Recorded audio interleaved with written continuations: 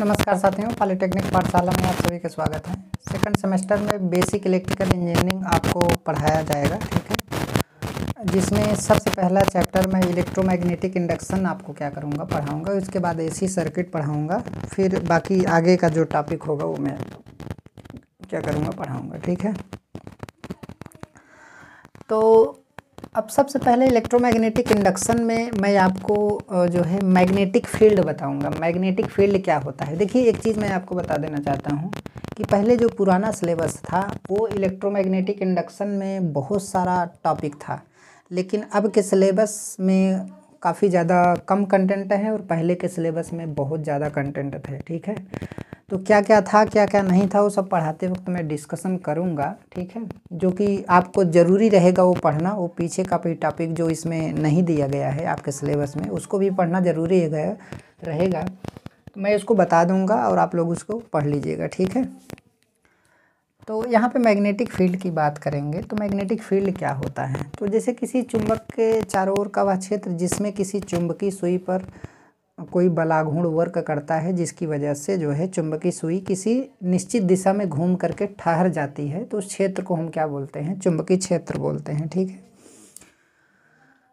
तो चुंबकीय क्षेत्र का मतलब है कि अगर किसी मैग्नेट के चारों ओर चुंबकीय क्षेत्र होगा तो जब मैग्नेटिक नीडिल मैग्नेटिक नीडिल या चुंबकीय सुई को जब वहाँ पर ले जाएँगे तो उस पर एक बलाघूर्ण वर्क करेगा, जिसकी वजह से वो घूम करके एक निश्चित दिशा में ठहर जाएगा।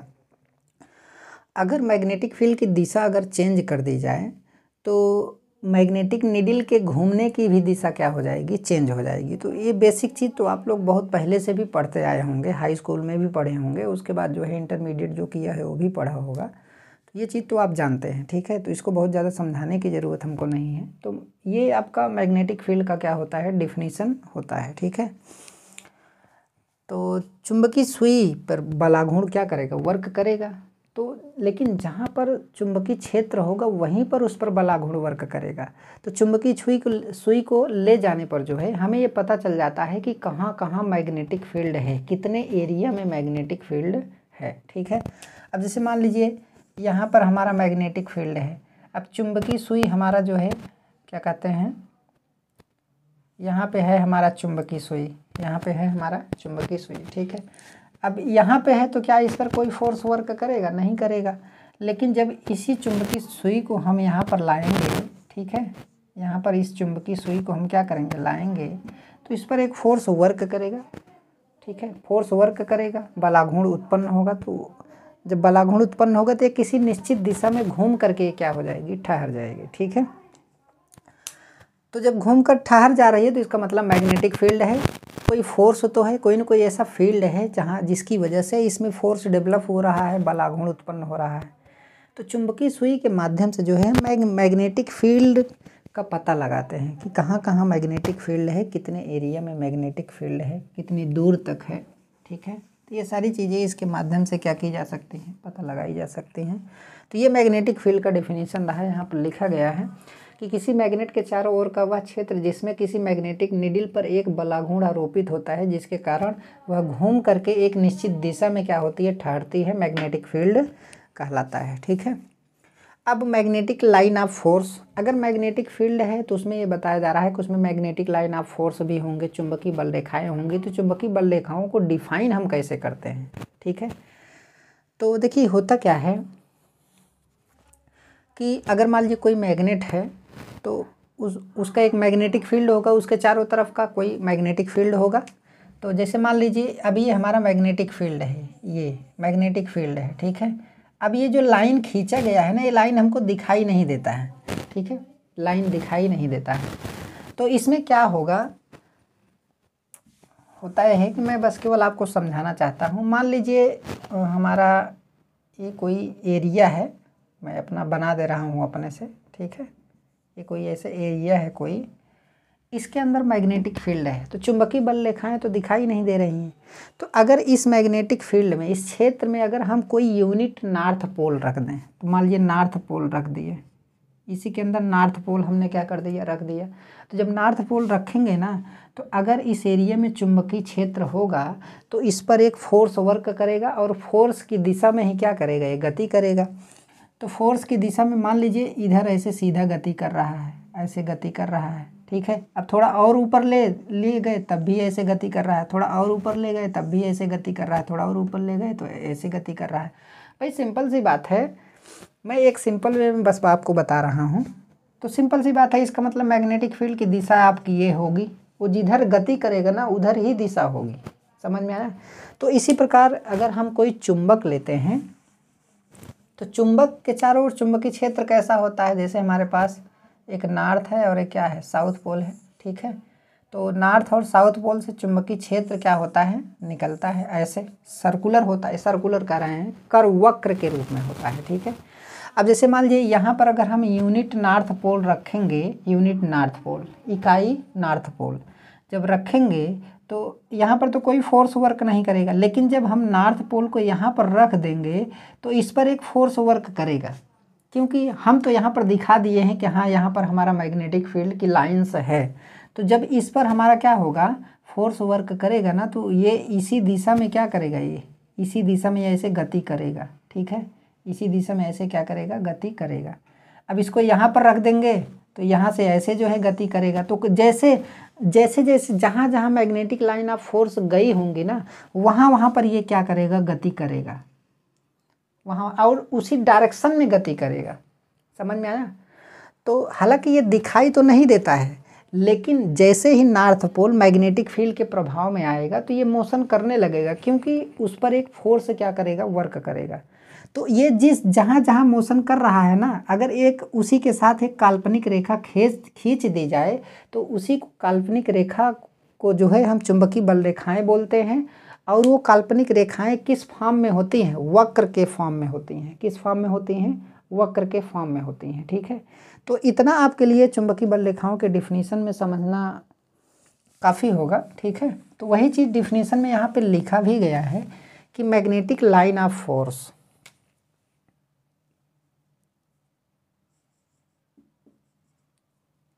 magnetic line of force ठीक है? तो मैग्नेटिक लाइन ऑफ़ फोर्स की अगर मैं बात करूँ तो इसके डिफिनीसन हालाँकि अभी हमने समझाया तो इसके डिफिनीसन भी मैं बता दे रहा हूँ कि किसी मैग्नेट के चारों ओर का वह क्षेत्र जिसमें चुंबकीय प्रभाव का अनुभव किया जा सकता है तो वो हमारा चुंबकीय क्षेत्र होता है, ठीक है? कोई ना कोई चुंबकीय चुंबकीय प्रभाव क्या हो सकता है? अट्रैक्शन हो सकता है रिपल्सन हो सकता है, कोई बलाघूण उस पर क्या करेगा? वर्क करेगा तो मोशन करेगा, जैसा कि अभी चुंबकीय क्षेत्र था तो ये चुंबकीय प्रभाव हो गया, ठीक है? तो चुंबकीय क्षेत्र कहलाता है। तो जब किसी चुंबकीय क्षेत्र में यूनिट नॉर्थ पोल रखा जाता है, यूनिट नॉर्थ पोल, इकाई नॉर्थ पोल, हालाँकि एक नॉर्थ पोल केवल होने का कोई अस्तित्व तो नहीं होता है, लेकिन डिफाइन ऐसे ही किया जाता है, ठीक है? यूनिट नॉर्थ पोल रखा जाता है तो इस यूनिट पोल पर एक बल कार्य करता है। इस बल के कारण यह यूनिट पोल गति करता है। तो गति करने के लिए यह जिस पाथ का अनुसरण करता है, इस पर काल्पनिक रेखाएँ खींचने पर यह पाथ वक्र के रूप में प्राप्त होता है। तो इन वक्र रेखाओं को मैग्नेटिक लाइन ऑफ़ फोर्स के नाम से क्या किया जाता है? जाना जाता है। मतलब यूनिट नॉर्थ पोल जहाँ जहाँ गति करेगा, जिस पाथ का अनुसरण करके वो गति कर रहा है, उसी पाथ पर जो है, अगर हम एक काल्पनिक रेखा खींच दें तो हमें वक्र के आकार की दिखाई देगी। और उसी को हम क्या बोलेंगे? चुंबकीय बल रेखाएँ जो वक्र के फॉर्म में क्या होती हैं? होती हैं, ठीक है? ये चीज़ है। तो ये इस तरीके से आप इसे क्या कर सकते हैं? डिफाइन कर सकते हैं, ठीक है? ये एक्चुअल डिफिनीसन है इसका। और अगर गुण की बात की जाए तो चुंबकीय बल रेखाओं में क्या गुण होता है?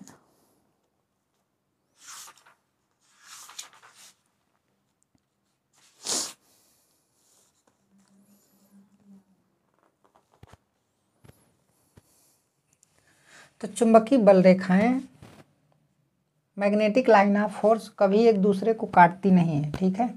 जैसे हमारे पास कोई नॉर्थ क्या कहते हैं? एक नॉर्थ है और क्या है? साउथ है। तो थोड़ा मैं फिगर बड़ा बनाता हूँ।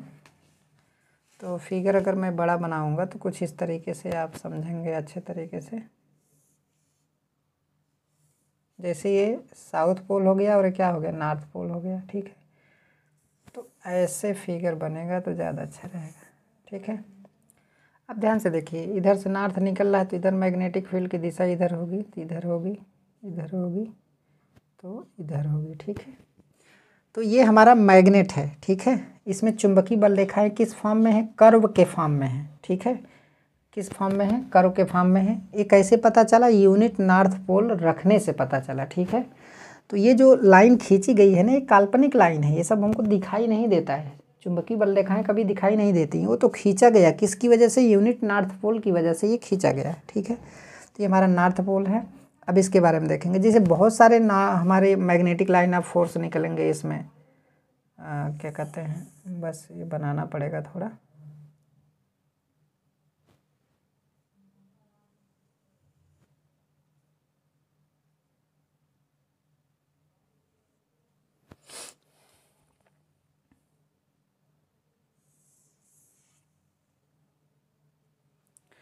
हैं? जैसे हमारे पास कोई अगर मैग्नेट है, ठीक है? ऐसे मैग्नेट है हमारे पास, एक बड़ा सा मैग्नेट बना रहे हैं ताकि आपको समझ में आ जाए। जैसा कि फिगर जो है पीछे आपको बनाकर दिखाया गया है। ये साउथ है और क्या है? नॉर्थ है, ठीक है? ये हो गया। ठीक है? तब इसमें जो है, ये मैग्नेटिक लाइन ऑफ़ फोर्स हो गया, इस तरीके से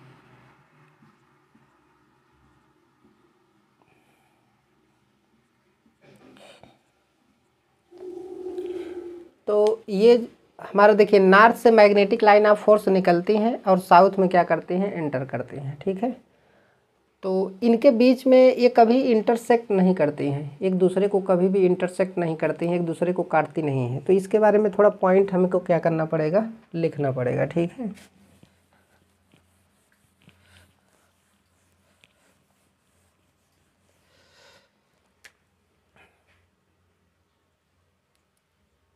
चुंबकीय बल रेखाएँ बल रेखाएँ कभी एक दूसरे को दूसरे को काटती नहीं है, काटती नहीं है। यह वक्र के फॉर्म में होती है। यह वक्र के फॉर्म में होती है, ठीक है? वक्र के फॉर्म में होती है तो ये चीज़ कंपटीशन में पूछा जाता है तो इस वजह से मैं आपको बता रहा हूँ।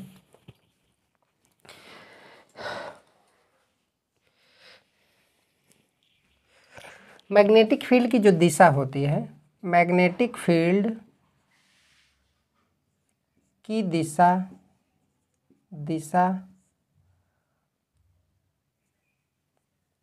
बाहर में बाहर में नॉर्थ से साउथ, नॉर्थ से साउथ होती है है, तथा अंदर में साउथ से अंदर में साउथ से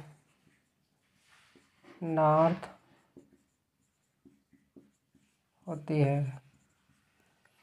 अंदर में साउथ से क्या होती है? नॉर्थ होती है। तो ये पॉइंट भी क्या करना है? लिखना है, ठीक है?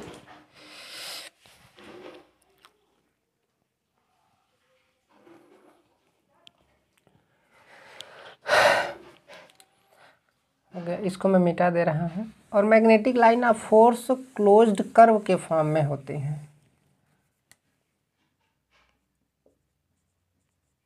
Magnetic line of force closed curve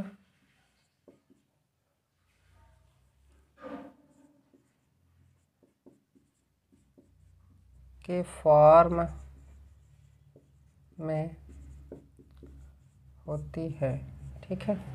ये चीज़ है। तो ये मैग्नेटिक फ़ील्ड का क्या हो गया? डिफिनीशंस हो गया।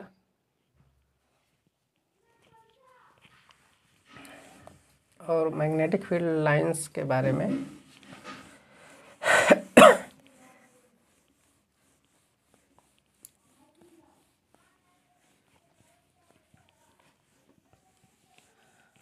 देखिए पहले मैग्नेट वैग्नेट पढ़ाया जाता था। मैग्नेट कितने टाइप का, मैग्नेट क्या होता है, कितने टाइप का होता है? एक आपका परमानेंट मैग्नेट होता है, एक टेम्पोरेरी मैग्नेट होता है। टेम्पोरेरी मैग्नेट कितना होता है, कहाँ पर यूज़ किया जाता है, वो सारी चीज़ें आपको बताई जाती हैं। लेकिन यह, इसके कुछ पॉइंट के बारे में आपको बता दिया जाएगा। हालाँकि वो चीज़ सिलेबस में नहीं दिया है तो उसके बारे में ज़्यादा डिस्कस हम नहीं करेंगे।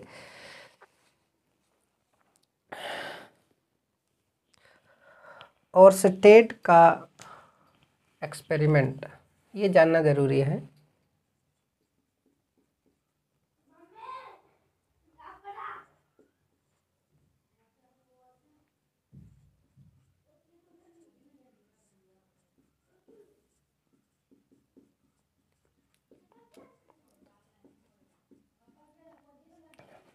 और स्टेट का एक्सपेरिमेंट क्या कहता है, इसके बारे में थोड़ा देखेंगे। अब यहीं से इम्पोर्टेंट टॉपिक आपका क्या हो जाता है? चालू हो जाता है।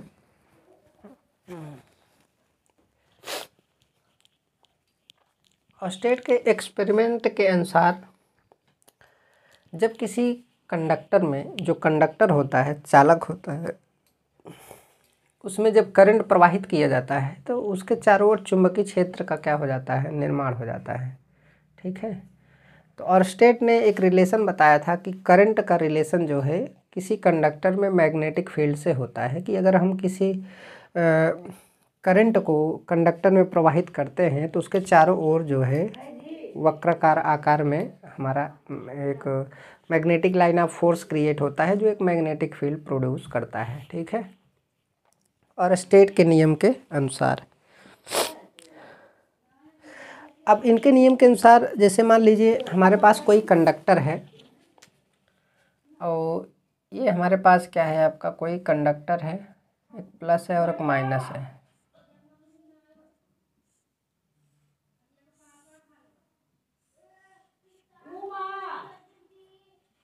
ये हो गया। ये क्या हो गया? कंडक्टर हो गया, ठीक है? ये हमारा कंडक्टर है। और ये हमारा स्विच है और हमारा बैटरी है। तो यहाँ पर हम कोई चुंबकीय सुई रखते हैं, ठीक है? चुंबकीय सुई।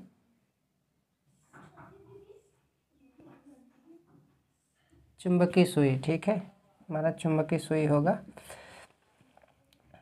तो अब इसी के नीचे अगर हम चुंबकीय सुई क्या करते हैं, रखते हैं तो अगर जैसे ही हम स्विच को ऑन करते हैं ना तो इस कंडक्टर में जो है करंट हमारी क्या करती है? फ्लो करती है। तो करंट जब फ्लो करती है ना तो इसमें मैग्नेटिक फ़ील्ड प्रोड्यूस हो जाता है। तो जैसे ही इसमें मैग्नेटिक फ़ील्ड प्रोड्यूस होगा कंडक्टर में ना, ये चुंबकीय सुई पर एक बल वर्क करेगा। उस बल की दिशा में ही ये क्या करेगा? घूम जाएगा। बलाघूर्ण की दिशा में ही क्या कर जाएगा? घूम जाएगा। तो ये कैसे पता चला? ये कैसे पता चला? जब कंडक्टर में हमने करंट प्रवाहित किया जब करंट हमने क्या कर दिया? ज़ीरो कर दिया तो इसमें डिफ्लेक्शन नहीं हो रहा था। ये जो चुंबकीय सुई है ना, इसमें किसी प्रकार का कोई भी डिफ्लेक्शन नहीं हो रहा था। ठीक है? ऐसे है, मान लीजिए, ऐसे किसी चीज़ पर है हमारा चुंबकीय सुई। तो करंट हमने जब प्रवाहित किया तो हमने देखा कि चुंबकीय सुई में क्या हुआ? बलाघोड़ वर्क किया, जिसकी वजह से वो डिफ्लेक्ट हो गया और एक निश्चित दिशा में जा कर के वो ठहर गया। ठीक है? अगर हम करंट की दिशा को क्या करते हैं, प्रवाहित करते करंट की दिशा को चेंज कर देते हैं। करंट की दिशा को हम क्या कर दें? चेंज कर दें। इधर आपका पॉजिटिव हो गया, इधर आपका क्या हो गया? निगेटिव हो गया। तो करंट की दिशा चेंज करने से भी ये पाया गया कि अगर हम दिशा चेंज करते हैं तो चुंबकीय सुई का जो डिफ्लेक्शन का डायरेक्शन है, वो भी क्या हो जाता है? चेंज हो जाता है। उस पर अपोजिट डायरेक्शन में जो है बालाघुण वर्क करता है और वो अपोजिट डायरेक्शन में क्या कर जाता है? घूम जाता है। और एक दिशा में ठहर जाता है, ठीक है? तो इस चुंबकीय सुई के माध्यम से ये पता चला कि किसी कंडक्टर में धारा प्रवाहित करने से जो है, हमारा क्या होता है? उसके चारों ओर चुंबकीय क्षेत्र क्या होता है? प्रोड्यूस होता है। तो हालाँकि इसके बारे में बहुत ज़्यादा फिगर बनाने की हमको ज़रूरत नहीं है, बस सिर्फ़ ये जानना है कि और स्टेट के अनुसार जो है जब किसी कंडक्टर में करंट प्रवाहित करते हैं तो उसके चारों ओर चुंबकीय क्षेत्र का क्या हो जाता है? निर्माण हो जाता है।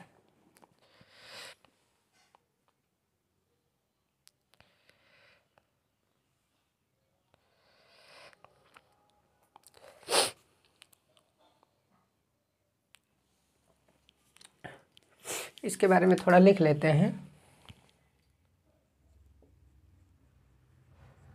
इनके अनुसार इनके अनुसार,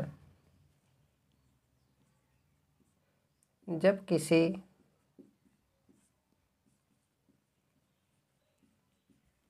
कंडक्टर में इलेक्ट्रिक करंट फ्लो होती है, फ्लो होती है तो उसके चारों ओर चारों ओर, एक,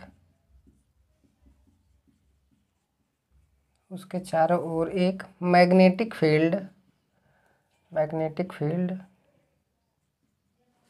produce होता है। मैग्नेटिक फ़ील्ड प्रोड्यूस होता है, ठीक है?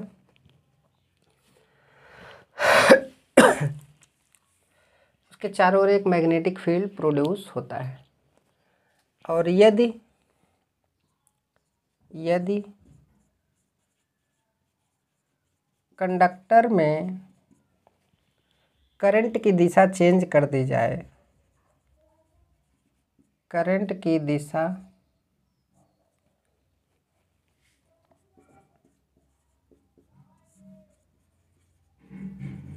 चेंज कर दिया जाए।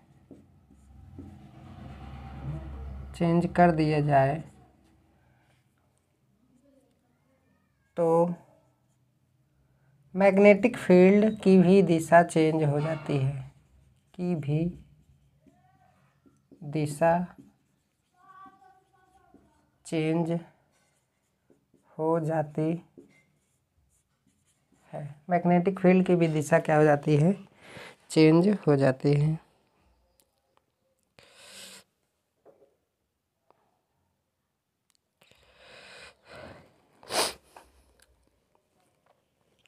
ठीक है।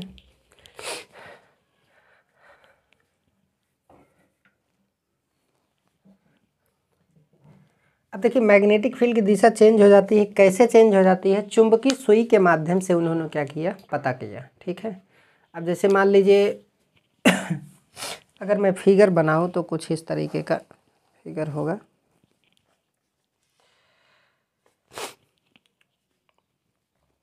मैं पूरा डिफ्लेक्शन पूरा फिगर मैं नहीं बना रहा हूँ और पूरा थ्योरी भी मैं नहीं लिखा रहा हूँ। केवल बस आप इतना ही जान लीजिए कोई दिक्कत की बात नहीं है। इनके नियम में बस केवल इतना ही जानना है कि किसी कंडक्टर में आ, हमेशा क्या होता है आपका? करंट फ्लो कराने पे उसके चारों ओर मैग्नेटिक फ़ील्ड का क्या होता है? निर्माण होता है। और करंट की दिशा अगर हम चेंज करते हैं, अगर करंट की दिशा हम चेंज करते हैं तो वो मैग्नेटिक फ़ील्ड की दिशा भी क्या हो जाती है? चेंज होता, हो जाती है। यह बात यह बात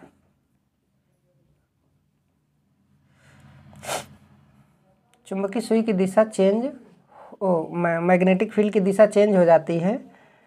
और यह चुंबकीय सुई के द्वारा पता चला। यह चुंबकीय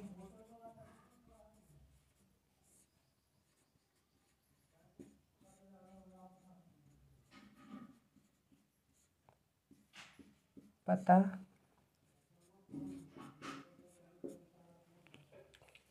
यह चुंबकीय सुई के द्वारा क्या हुआ? पता चला। ठीक है? तो आज का क्लास यहीं तक। बस इसमें केवल ये रिलेशन बताना था। एक चीज़ और आपको जानना है कि अगर मूविंग चार्ज है तो कंडक्टर में तो मूविंग चार्ज के कारण ही जो है हमारा होगा। तो मूविंग चार्ज के कारण मैग्नेटिक फ़ील्ड प्रोड्यूस होता है।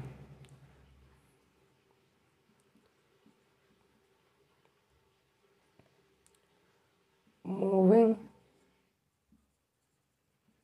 चार्ज फ्री इलेक्ट्रॉन के कारण। फ्री इलेक्ट्रॉन के कारण कारण कंडक्टर में कंडक्टर में, फ्री इलेक्ट्रॉन के कारण कंडक्टर में magnetic field magnetic field produce होता है, प्रोड्यूस होता देखिए फ्री इलेक्ट्रॉन का मतलब कंडक्टर में जो फ्री इलेक्ट्रॉन होगा, उसी के कारण मैग्नेटिक फ़ील्ड क्या होगा? प्रोड्यूस होगा, ठीक है? ऐसा नहीं कि जो है किसी दूसरे में मैग्नेटिक फ़ील्ड प्रोड्यूस हो जाएगा। अगर मान लीजिए कोई लिक्विड है, उसमें पॉजिटिव आयन नेगेटिव आयन है उसमें इलेक्ट्रॉन है तो उसकी वजह से नहीं होगा, ठीक है? कंडक्टर में होगा, तब की बात की जा रही है। और अगर स्टैटिक चार्ज हैं, स्थिर चार्ज स्थिर चार्ज स्थिर चार्ज के कारण हमेशा इलेक्ट्रिक फ़ील्ड फ़ील्ड प्रोड्यूस होता है।